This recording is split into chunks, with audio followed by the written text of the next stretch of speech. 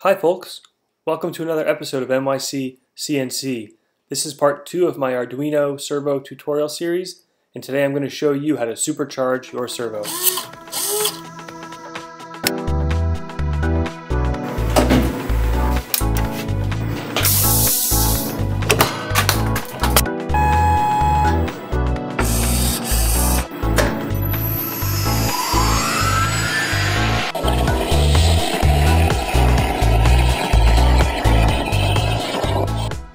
This video is going to cover three topics.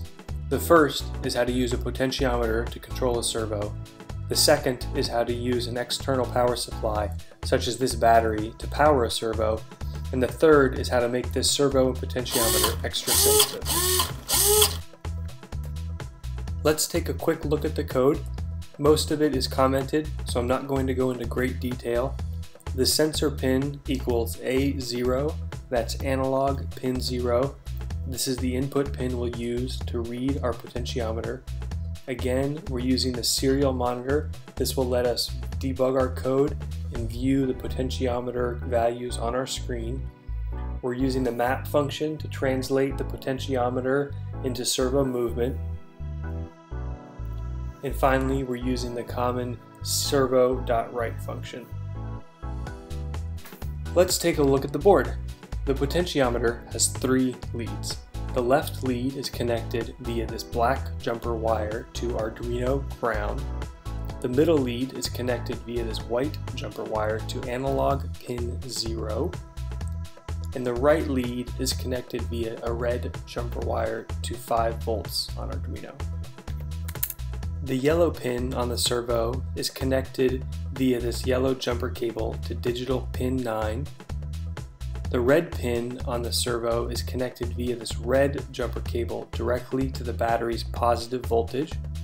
The black pin is connected via this blue jumper cable that you can't really see in the video to the ground rail on the breadboard, which is then directly connected via this black jumper wire to the battery's negative terminal. By using an external power supply, the Arduino can support higher current, higher power servo motors, it's necessary, however, to establish a common ground by connecting the battery's ground to the Arduino's ground. I'm doing that here via this orange wire that connects the ground connection from the battery to the ground connection I'm already using for the potentiometer. Let's make sure our potentiometer is working as expected. I'm going to unplug digital pin 9 to disable the servo. We're going to rotate the potentiometer. If we open the serial monitor on our computer, we should see the corresponding values as we rotate the potentiometer.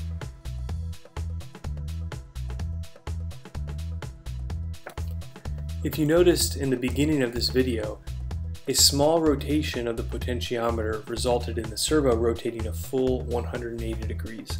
In other words, it acted with much greater sensitivity. We achieved this by tweaking our map function parameters. Traditionally, you would use the full range of the potentiometer's input, in other words, 0 all the way to 1023. To make it more sensitive, simply replace the 1023 with something like 200. This means that rotating the potentiometer approximately one-fifth of its range of motion will result in a full 180 degree movement of the servo.